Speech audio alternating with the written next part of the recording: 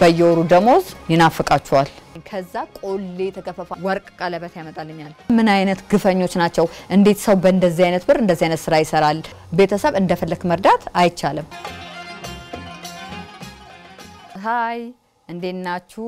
ቤተሰብ plus ሆነናል። አሁን ዛሬ የማጫውታችሁ ደግሞ ስለ ደሞዝ ነው። ደሞዝ ታውቃውታላችሁ አይደል? የዛን ሀገር ደሞዝ በእኛ ጊዜ ማለት ነው ስንሄድ የወር ደሞዛችን መቶ ዶላር ነበር። ማለትም በዛ ሰዓት በኢትዮጵያ ሲመነዘር አምስት መቶ ብር ብቻ ማለት ነው። ያም ሆኖ በየወሩ ደሞዝ ይናፍቃችኋል። ደሞዝ የለም። ለቤተሰብ መላክ ስትፈልጉ ብቻ ነው ስንት ብር ነው መላክ የምትፈልጊው ትባላላችሁ። ስንት ብር መላክ እንደምፈልግ እነግራታለሁ። ትልክና ማታ ደውላ ብሩ ደረሳችሁ ብለሽ ጠይቂያቸው ትልና በስልክ ታገናኘኛለች። ከዛ በኋላ እንደደረሳቸው ጠይቃቸዋለሁ። አዎ ደርሶናል ሲሉ ብቻ ነው የማውቀው። እኔ የመጀመሪያ ጊዜ ማለት ነው ልክ ወር ሲሞላኝ ደሞዜን ስጭኝ አልኳት። ከዛ በኋላ አይ እንደዚህ አይነት ነገር የለም እዚህ ተጠራቅሞልሽ አንደኛሽን ስትሄጂ ነው ደሞዝ የሚሰጥሽ። የምትፈልጊውን ነገር እኔ ገዛልሻለሁ፣ አሳክምሻለሁ፣ ቅባት፣ ሁሉን ነገር የሚያስፈልግሽን በሙሉ እኔ ገዛልሻለሁ። ስለዚህ ብር በእጅሽ መያዝ ምን ያደርግልሻል አለችኝ። ከዛ ደነገጥኩኝ። ከዛ ምንም አማራጭ ስለሌለኝ ዝም አልኩኝ ማለት ነው። ግን በጣም የሚያሳዝነኝና ሁሌ በጣም የሚያናድደኝ ነገር የሚከፍሉት ደሞዝና የሚያሰሩት ስራ በተአምር አይገናኝም። ማለትም የሚከፈለን ደሞዝ በቀን በእኛ ሀገር 16 ብር ከ65 ሳንቲም ማለት ነው። በእርግጥ እኛ ሀገር ሰራተኛ በዛ ሰዓት ደሞዙ ርካሽ ቢሆንም ለተሻለ ነገር ነው አገር ቀይረን ይህ ሁሉ መንገድ አቋርጠን ሄድ ነው። የዜዚማ አገራችን ብንሰራ ምን ችግር አለው? ከዛ እኔ በቃ ያንን calculate አድርጌ በጣም ነበረ ሞራል የደከመው።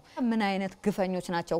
እንዴት ሰው በእንደዚህ አይነት ብር እንደዚህ አይነት ስራ ይሰራል አልኩኝና ከዛ ደግሞ ወደ advantage ኡ ስትመጣ ሁሉን ነገር እነሱ ስለሚገዛዙልን ያ ብር ተቀማጭ ነው የሚሆነው ማለት ነው፣ ምንም ሳይነካ። ያ አንድ ነገር ነው። ምክንያቱም ያንን ብር ሰጥተውኝ አንቺ የፈለግሽውን ነገር የራስሽ የሚያስፈልግሽን ገዛዥ ቢሉ በዜሮ ነበር ማለት ነው፣ ባዶ እጄን አጨብጭቤ የምመጣው። ያንን ነገር አሰብኩበትና አዎ እውነቷ ነው፣ ቢቀመጥ ይሻላል። ምክንያቱም ሁሉ ነገር እሷ ካደረገችልኝ ምን ጨነቀኝ አልኩ። ስጪኝ ብላትም አሰጠኝም። ስለዚህ ያለኝ አማራጭ ጸጥ ማለት ነው። እንደ አማራጭ አርጌ በወቅቱ የወሰድኩት ምንድን ነው ለቤተሰብ ምትልክ ከሆነ ለምን አራት ወር እንደዚህ የሞላው ለምን አልክም አልኩኝ። በየበዓሉ እነሱ ብር ይሰጡናል ማለት ነው። ሲሰጡን ያንን ብር እኛ ጋር እንዳለ እሷም ታውቃለች። ለባል የሰጠንሽን ብር አምጪ እሱን ነው ምልክልሽ እንጂ በየጊዜው ደሞዝሽን ልከሽ ልከሽ አንቺ ባዶ እጅሽን ልትሄጂ ነው ወይዛ ስለዚህ ብር እጅሽ ላይ ምንም ነገር አያደርግም ማለት እንዴ ይህንን ስጦታ አይደለ የሰጣችሁኝ ስላት ቢሰጥሽም ምንም ነገር የሚያስፈልግሽ ነገር አለ ንገሪኝ፣ እኔ ልግዛልሽ። በተረፈ ግን አምጪ እሱን ላኪው አለች። ምክንያቱም ለምንድን ነው እጃችን ላይ ካለ ወጥተው ይገዛሉ፣ ውጩን ያዩታል፣ አገሩን ያውቁታል ብለው ስለሚያስቡ ምንም ሳንቲም የተባለ እጃችን ላይ እንዲሆን አይፈልጉም። ሁሉም ነገር እየተከታተሉ የሚገዙልንም ለዚህ ነው።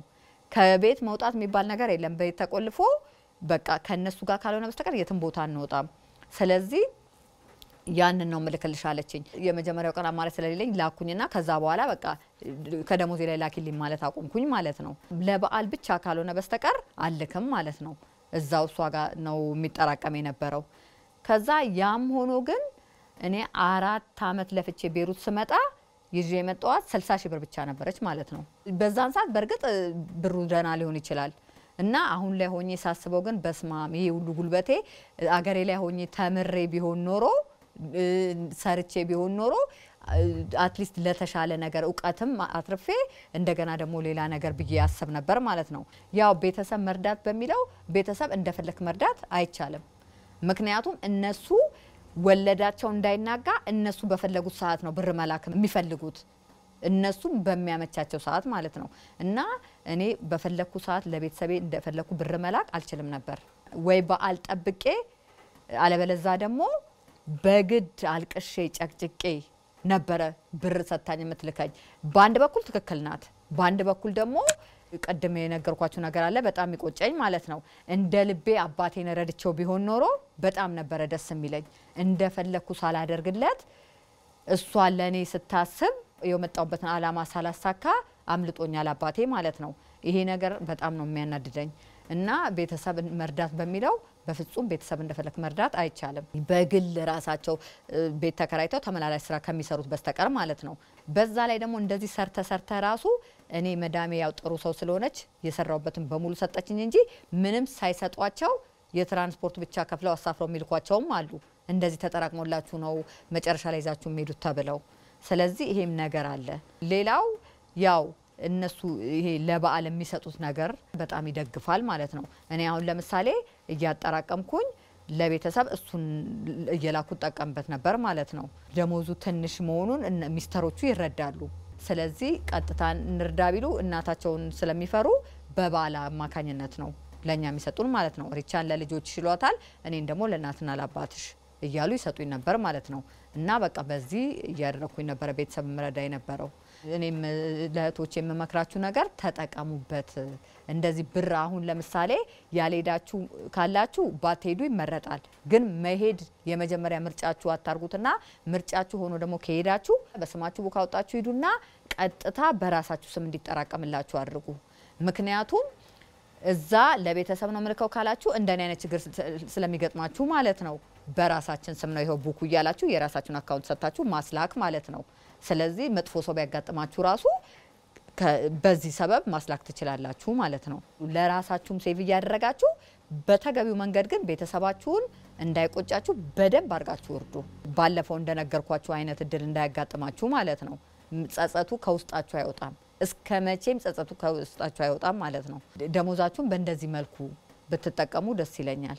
እዚህ አይታችሁት የማታውቁት እዛ በጣም ብልጭት ነገሮች አሉ። ለፍታችሁ የምታገኙትን ገንዘብ ለሄዳችሁበት አላማ ሳይሆን ዝም ብላችሁ ለአረባሌ ነገር አውላችሁ መጨረሻ ላይ ጉልበታችሁ ብቻ አልቆ መታችሁ ሀገራችሁ ላይ እንዳትጎዱ። ስፔሻሊ በአሁን ሰዓት ሁሉም ነገር እዛ የምታዩት ነገር በጠቅላላ እኛ ሀገር ላይ አለ።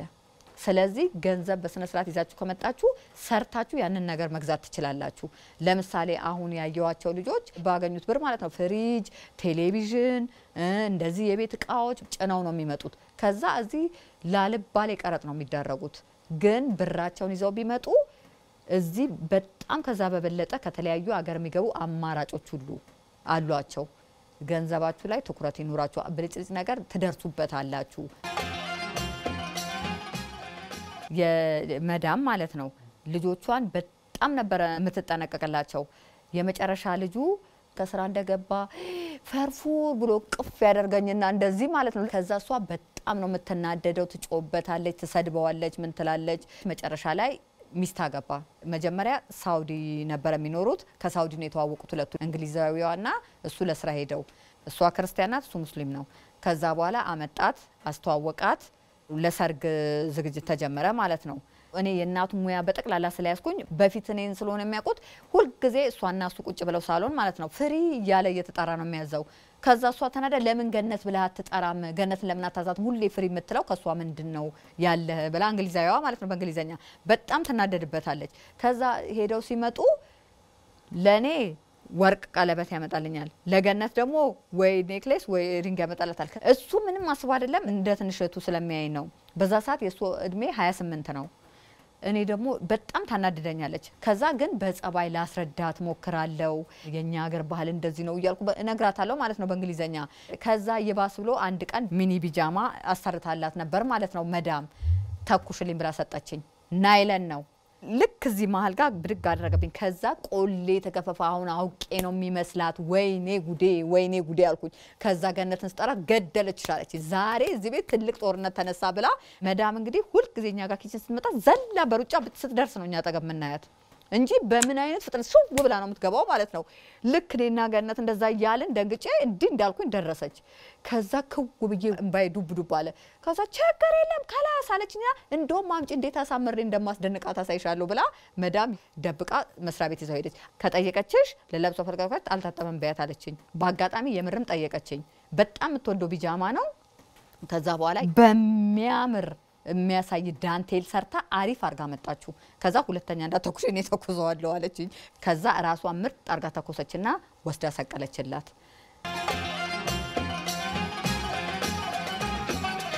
ውሃ ልውሰድ በሚል ሰበብ ይመጣና እንደዚህ ጨፍልቆኝ ረግጦኝ ነበር የሚሄደው። ቱን ቁመታቸው እንትን ነው። ከዛ የማይረሳኝ አልጋ ላይ ወጣሁኝና እነሱ አልጋ ላይ ቆሜ ማለት ነው። በጣም ተጸጸተችና መጨረሻ ላይ ይቅርታ ጠየቀችኝ።